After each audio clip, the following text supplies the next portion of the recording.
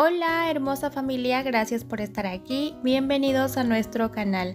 El día de hoy vamos a realizar dos manualidades con esta botella de cloro y comenzamos la primera idea trabajando con la parte baja de este material. Recortaremos en esta altura que ya tiene una marca, entonces eso nos facilita bastante y también es importante nivelar muy bien el borde. El siguiente material es este, esta soga de yute. Pueden utilizar cualquier tipo de hilo o soga como ven, para el pegado estoy utilizando silicón caliente, pero también pueden aplicar silicona líquida o algún otro pegamento que sea resistente. Bueno, en este trabajo combinaré dos eh, colores de hilo o soga y aquí voy a comenzar con este color cremita. Este hilo es de macramé, pero como ya les dije, todos los materiales se pueden sustituir por, lo que por los que tengamos en casa.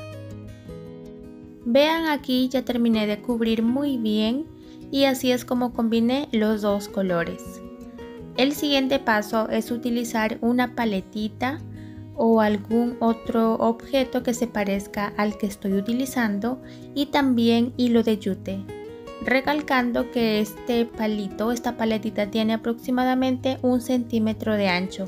Con el hilo de yute vamos a cubrirlo completamente. Llegando a la parte final aseguramos el hilo con un poquito de silicón caliente. Ahora este pedazo es del mismo material pero más gruesito y vamos a pegarlo de extremo a extremo así como pueden ver en el video.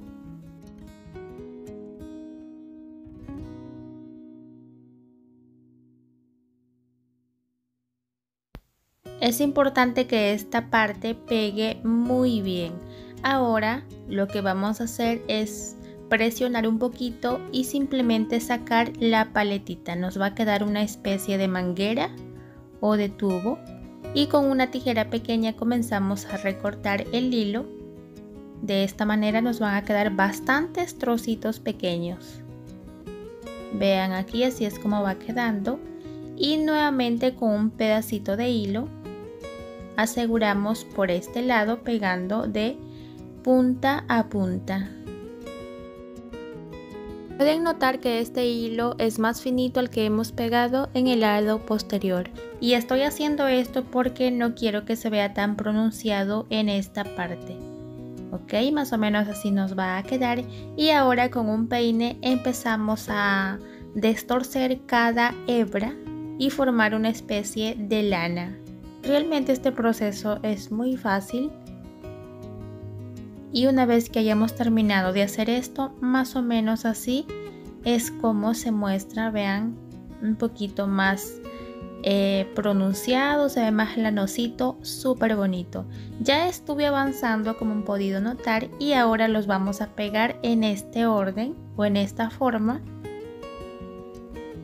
Recortamos lo sobrante, aseguramos muy bien y ahora pegamos hacia arriba formando las figuras de unos triángulos. Es importante calcular muy bien el espacio que vayamos a dejar. De esta manera es como he decorado todo el contorno del envase me súper encantó, realmente me, me, gustan estos detalles, ya lo he visto en algunas tiendas y se ven súper bonitos. Si en algunas partes todavía ven que los hilos están torcidos, van a continuar peinando para darle más realce. Bien, este trabajo lo pueden utilizar de distintas formas para organizador si lo quieren para ello, pienso que la parte interna no es necesario cubrirlo porque se ve impecable o también para maceta y en esta base le harían unos hoyitos. Bueno, yo tenía este círculo de corcho que justo encaja perfectamente y lo voy a usar como tapa. Este círculo mayormente lo utilizamos para las ollas calientes, pero en este caso voy a darle otra función y también este jalador rústico que viene con este tornillo y vean aquí queda perfecto. Estuve decorando el contorno de la tapa con esta soga de yute. Si ustedes quieren realizar una tapa también lo pueden hacer de cartón grueso, lo forran con tela de yute o alguna tela que sea de su agrado y listo. Bueno, así es como va quedando esta preciosa manualidad, un organizador para cualquier espacio de nuestra casa. En este caso lo quiero utilizar en mi cocina para guardar algún tipo de legumbres, también podemos guardar aquí galletas o algunas cosas que tengamos en la despensa. Se me hace una idea muy bonita y a la vez que es útil es decorativa. Así que amigas y amigos, espero que esta primera idea les haya gustado. Si es así, recuerden ir dándole like a este video y también escribiéndonos sus comentarios.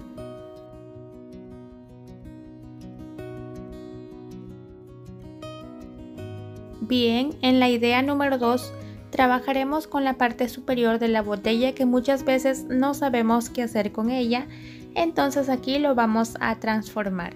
Utilizaremos una tijera pequeña que esté cortante para recortar la parte de atrás donde tiene la agarradera.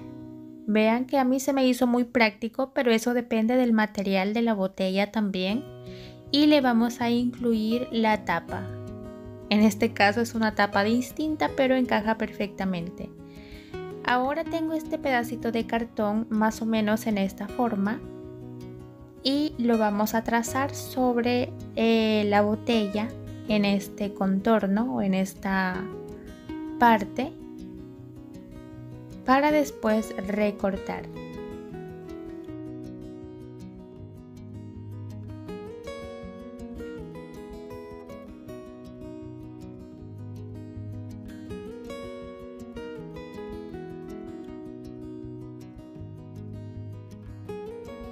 En total se estuvieron formando 6 puntas en este pedazo de botella y esta es la forma que tiene. Lo siguiente es recubrirlo, para ello utilizaré este pedazo de paño lenzi o fieltro en este color eh, camel o marrón. El pegado lo realizaré con silicona líquida ya que se me hace más práctico para este proceso.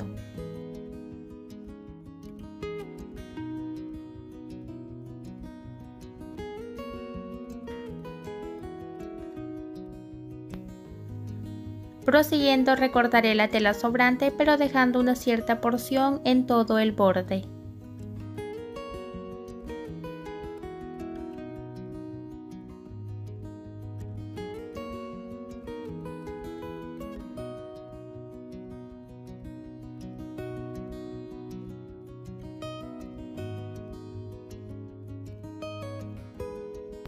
Una vez que hemos terminado con este paso, proseguimos a utilizar un pedazo de cartón previamente recortado con la medida de la parte de atrás. De igual forma lo voy a recubrir con la misma tela.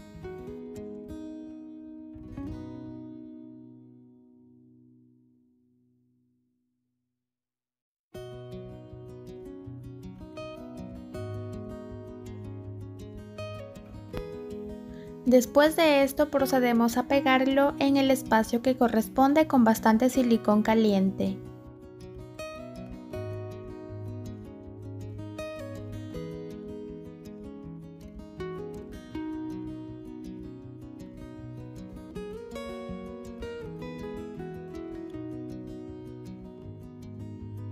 Con un pedacito de la misma tela estuve cubriendo este lado de la tapa y voy a utilizar esta trenza eh, no sé cómo se llama este material, pero es muy bonito. Y voy a forrar el cuello de la botella. También lo estuve pegando en estas uniones para cubrir las imperfecciones. Pueden utilizar trenza de cualquier hilo. Esta misma trenza pegué desde cada punta hacia abajo, dándole forma a la mitad de un paraguas. Asimismo, Vamos a darle relieve en todo el contorno pegándolo de esta manera. Aquí también pueden agregarle algún encaje, blonda o algún material que les guste para la decoración. Lo siguiente que emplearé es un pedazo de alambre que lo he doblado por la mitad y le he dado forma como de un bastón. Este es el soporte para el paraguas. Con unos pedacitos de cinta adhesiva los vamos a juntar para que nos estén moviendo. Si no tienen alambre pueden buscar algún otro material para sustituirlo.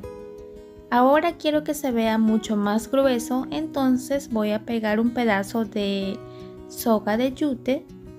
Esto es solamente para darle volumen.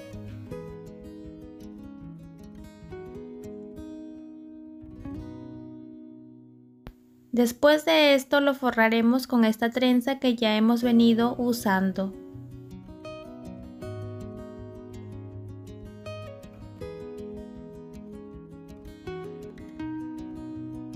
Seguidamente juntamos las dos piezas formando un lindo paraguas o sombrilla.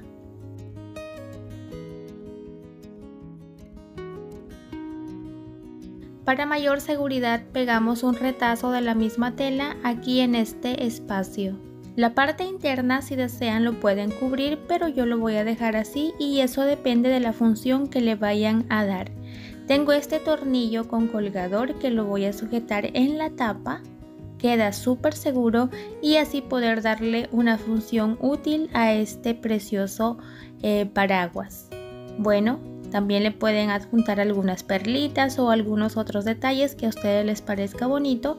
Por ejemplo, le pegué una tira de bolitas en todo el borde. Bien, finalmente así nos quedó este preciosísimo trabajo, muy fácil de hacer con poquísimos materiales y es una manualidad útil y decorativa. Ustedes van a darle la función que más les agrade. Por aquí les muestro yo algunas opciones.